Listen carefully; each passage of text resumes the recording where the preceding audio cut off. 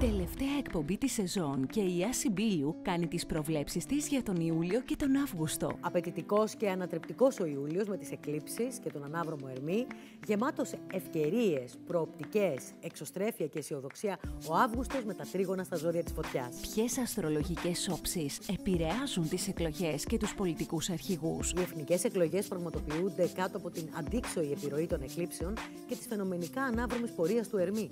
Star System, Σάββατο στις 2 το μεσημέρι.